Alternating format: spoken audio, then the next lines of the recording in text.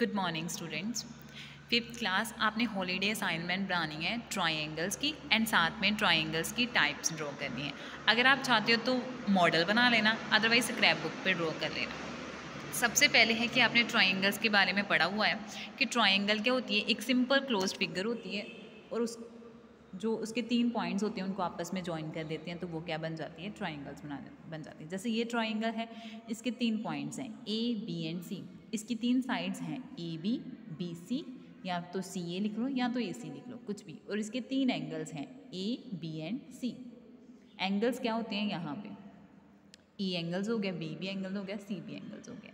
अब ये जो ट्राइंगल होती है ना, ये भी तीन पार्ट्स में डिवाइड होती है। ट्राइंगल्स की तीन क्लासिफिकेशंस बताई गई हैं। ये बेसिस है, ठीक है?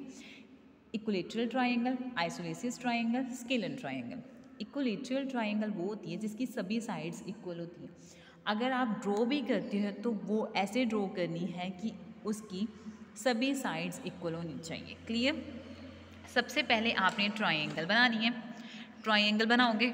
स्क्रैप बुक पे बनानी है तो ठीक है अदरवाइज़ मॉडल पे बनाओगे ट्राइंगल बीच में कलरिंग भी करोगे पॉइंट्स भी दोगे, ठीक है? ट्राइंगल ड्रॉ करने के बाद आपने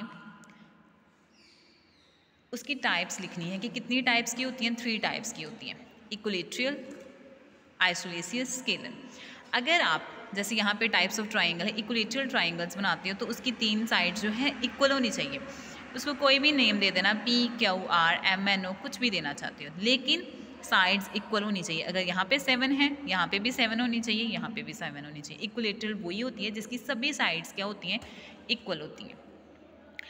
आइसोलेसिस वो होती है जिसकी टू साइड्स इक्वल होती हैं, लेकिन एक इक्वल नहीं होती है, ठीक है? उसको बोलते हैं आइसोलेसिस ट्राइंगल मीन्स कि अगर आपने ड्रॉ करनी है तो उसकी दो साइड्स जो है वो इक्वल आएँगी और एक नहीं आएँगी। जैसे यहाँ पे ट्राइंगल्स बनाई हैं आइसोलेसियस ट्राइंगल ये जो दोनों साइड्स हैं, वो सिक्स सेंटीमीटर सिक्स सेंटीमीटर की हैं। जैसे यहाँ पे है, ये जो है वो दोनों सिक्स सेंटीमीटर की और सिक्स सेंटीमीटर की हैं, लेकिन जो लास्ट वाली है, वो फाइव सेंटीमीटर की बनी है। तो मतलब इसकी दोनों साइड्स इक्वल आई हैं, एक नहीं आई है तो ये कौन सी ट्राइंगल हुई? आइसोलेसियस ट्राइंगल थर्ड टाइप है स्केलन स्केलन ये होती है कि इसकी कोई भी साइड्स ट्राइंगल की इक्वल नहीं होती. जैसे यहाँ पे एक फोर है, यहाँ पे सिक्स है, यहाँ पे सेवन है. ये कोई भी साइड्स जो है वो इक्वल नहीं है. तो उसको हम क्या बोलते हैं कि ये कौन सी ट्राइंगल है? ये स्केलन ट्राइंगल है. क्लियर तो ये आपने हॉलीडे असाइनमेंट बनानी है. अगर आप ग्रा मॉडल बनाते हो तो पहले यहाँ पर ट्राइंगल की कटिंग करोगे, फिर उसके जो तीन साइड्स हैं, उनकी भी कटिंग करके उसको अच्छे से थर्माकोल पे या तो अटैच कर लो अदरवाइज़ वहाँ पे अच्छे से नीट एंड क्लीन ड्रॉ करोगे, बीच में कलरिंग करोगे और साथ में अपना नेम जो है वो लास्ट पे लिखोगे, ठीक है? तो ये आपका मॉडल है। साथ में आपने सिक्स चैप्टर जो है वो टेस्ट का प्रिपेयर करना है। छुट्टियों के बाद आपका आते ही उस चैप्टर का फुल का टेस्ट होगा। So thank you so much have a nice day